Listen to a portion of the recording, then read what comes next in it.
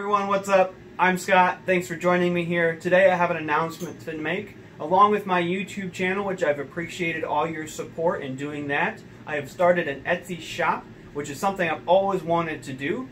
And I want to show off my first posting. It's right here. This is a custom painted first order Stormtrooper Nerf blaster with a custom scope. Now this is just a static prop that does not shoot, but it's great for Star Wars or sci-fi related cosplaying. So uh, go check it out on my Etsy shop. I hope to be posting more like this as well as other sci-fi weaponry and uh, props and things there. So uh, give me a follow on there as well as check out my YouTube channel. All the links are in the description.